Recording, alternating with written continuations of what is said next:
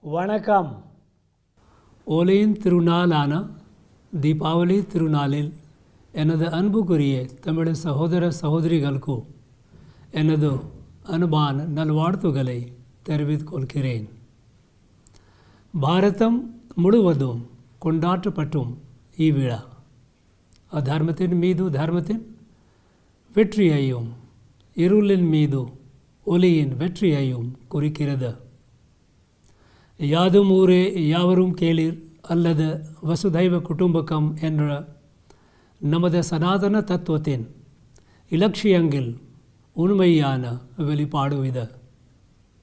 உலகெங்கிலும் உள்ள பாரத்வாசிகள் மதம் அல்லது மோடி வேறுபாட்டின்றி ஒரே குடும்பமாக தீபாவளியை கொண்டாட்டுகிறார்கள். நமது அன்புக்குரிய பிரதமர் நரேந்திர மோடி அவர்களே ஆத்ம நிர்பர் பாரதத்தை உருவாக்க நாம் அனைவரும் வோக்கல் ஃபார் லோக்கல் ஆக வேண்டும் என்று அறிவுறுத்தி உள்ளார்.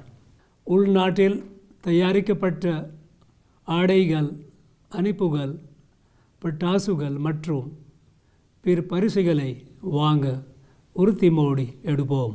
சமீபத்தில் விருதுநகர் மாவட்டத்தில் உள்ள சிவகாசி மற்றும் சாத்தூரில் உள்ள பட்டாசு மற்றும் தீப்பட்டி வேலை செய்யும் தொழில் சாலைகளுக்கு சென்று நம்ம தீபாவளியை ஒளிர் செய்ய பெண் தொழிலாளிகளின் உழைப்பு நேரில் பார்த்தேன். உள்நாட்டில் தயாரிக்கப்பட்டு பட்டாசுகளை வாங்கி அவர்களுக்கு நமது நன்றியை தெரிவித்து கொள்வோம். மற்றும் அவர்களின் நல்வாழ்வுக்காக பிரார்த்தனை செய்வோம்.